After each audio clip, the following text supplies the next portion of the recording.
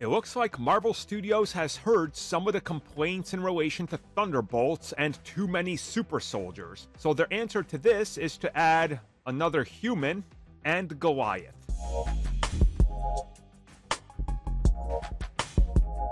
Look, I'm sorry I'm always a little bit more negative on this film than most other Marvel Studios productions, but when a majority of your team is the same archetype, that's boring. That's like building out a D&D party where out of 6 members you have 5 that are just a plain warrior and then you got one that's a mage.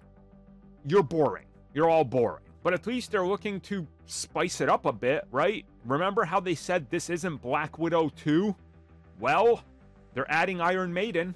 That's right, Rachel Weisz is reportedly on board and will be appearing as her character from Black Widow, this time fully as Iron Maiden. And I will show my bias here by not complaining about her being in this because, um, it's Rachel Weisz. That's it. That's why I'm not complaining. Yeah, I'm showing my fanboyism. I, I don't care.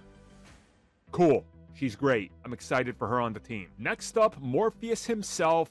That's right, Goliath who of course is played by the one and only Laurence Fishburne, who is a tremendous actor, one of my all-time favorites, I'll be real with you. Absolutely love him as an actor. So these two, honestly, for me, get me more excited than anything, because at least we got a guy that can grow, and that's cool.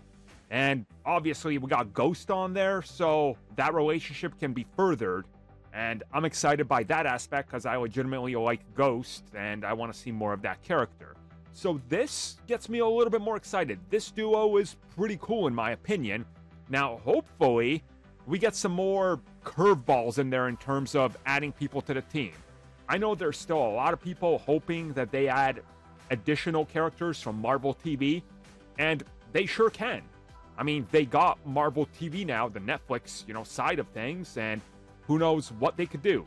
I personally hope for Frank Castle I know many people are still saying the same thing, so maybe there's a chance. Also, Ghost Rider has been heavily rumored. I think that would be a great pick. Just toss in a couple characters in there that make us question this team's composition instead of, yeah, super soldiers and humans.